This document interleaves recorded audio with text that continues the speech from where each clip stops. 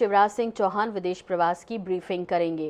दस बजकर पचास मिनट पर स्मार्ट सिटी पार्क में पौधारोपण करेंगे सीएम। 11 बजे पार्टी कार्यालय आगमन होगा उनका और फिर वो बैठक लेंगे। यह हम सीएम का कार्यक्रम आपको बता रहे हैं। मध्य प्रदेश के मुख्यमंत्री शिवराज सिंह चौहान, जो कि रात 9 बजे निवास पर मध्य प्रदेश स्टार्टअप नीति की लॉन्चिंग के कार्यक्रम की तैयारियों की समीक्षा बैठक भी करेंगे। तो पौधारोपण करेंगे स्मार्ट सिटी पार्क में और क्या कुछ दिन भर का कार्यक्रम है? रात तक इसके बारे में डिटेल जान लेते हैं हमारे विशेष संवाददाता अनुराग मालवीय से। अनुराग, क्या कुछ दिन भर का कार्यक्रम है? शाम तक आज मुख्यमंत्री का।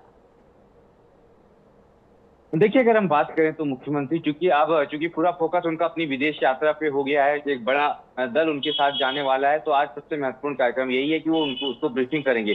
लेकिन अगर बात करें राजनीतिक उनकी बैठकों की तो आज भारतीय जनता पार्टी के कार्यालय मुख्यमंत्री ग्यारह बजे पहुँचेंगे, क्योंकि पी मुरलीधर राव शिव प्रकाश भोपाल में ही है, भाजपा प्रदेश अध्यक्ष भोपाल में है।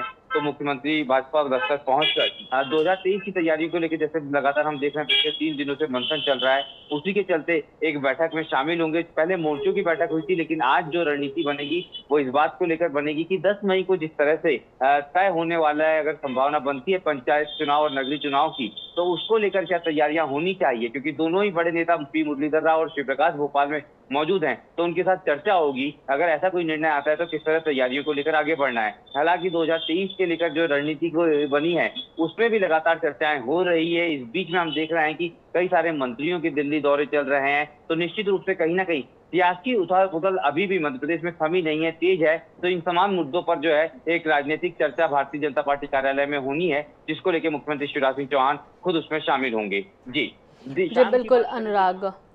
और आपसे ये भी जानना चाहेंगे कि आपने दिन भर का कार्यक्रम बनाया, बताया है। इसके अलावा कोई विशेष गतिविधियाँ जो आज होनी हैं शहर में और ख़ास तौर पर मध्य प्रदेश बीजेपी के संदर्भ में।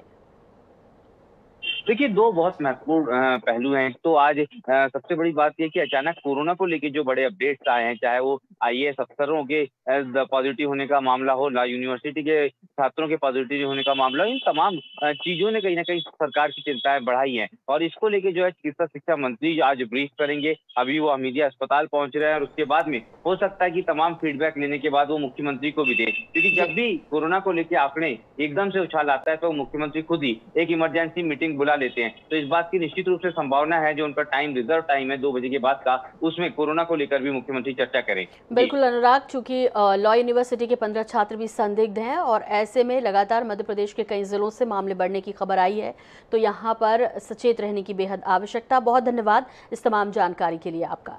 तो आज